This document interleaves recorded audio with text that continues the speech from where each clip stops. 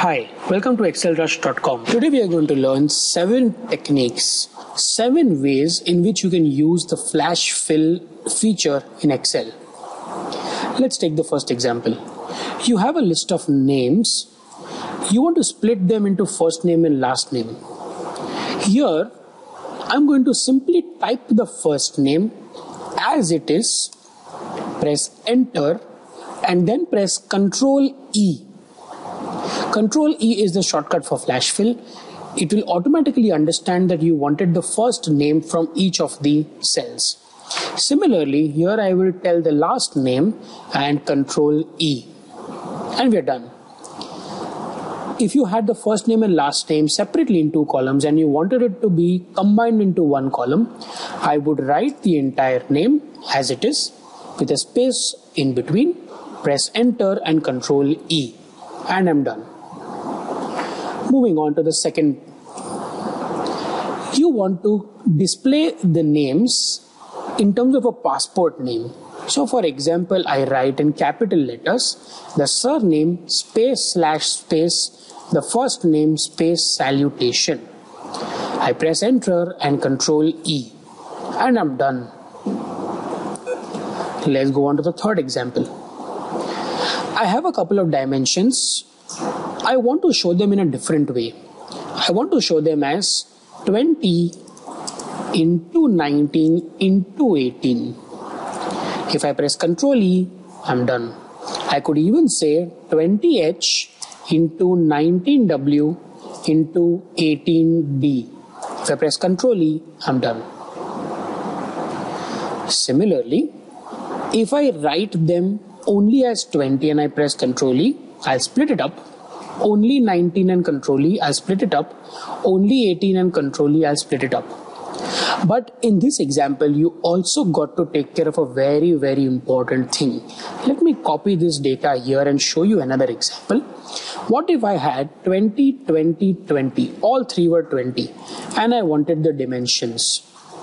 If I write 20 here and I press Ctrl E, it's going to pick it up correctly if I write 20 into 20 into 20 and if I press Ctrl E, it's not going to understand. It's replicating the first value three times. So you must ensure that the first three values are different and never the same. If this data itself, let me show you one more way I had this 2020-20 not here. Let me remove the formatting. If I had the 2020-20 here, and now if I try it, I'll just remove that extra space in between, extra space, yes. Now if I try it, it's going to work.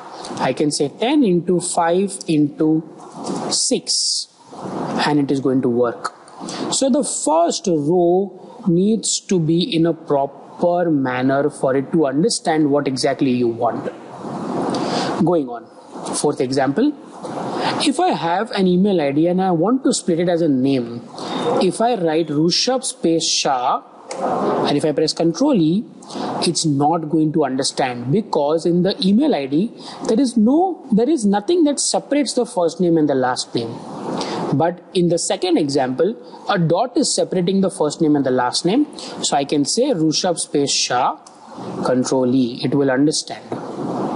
Going on.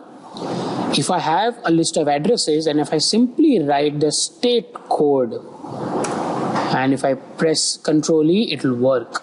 If I write the pin code and I press control E, it works. So you can split the state and pin code from any address like this. Going on this is my customer data. I have a name, order ID, and amount. I want to inform the customer by sending him a text. So I can say, Dear Rushabh Shah, your order ID is R1092 and amount is rupees 78,000. If I press Ctrl E, it works. But the only problem that has happened is here it is rs 78000 rs 30000 now pd where did this pd come from instead of rs for rupees? Because excel thought that the rs in the first two cases is the rushabh shah and riddhi shah rs so in such a case you need to ensure that you do not make such mistakes, you can use INR. And if I just do this and press Ctrl E, it works.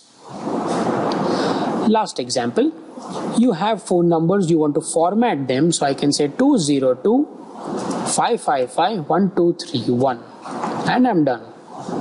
Similarly, if you even don't have 202 common, it will still work. 726 8973. Control E. It works. Use flash fill to minimize a lot of your work. You don't even need to use any formulas while using flash fill. So remember the shortcut for flash fill is Control E.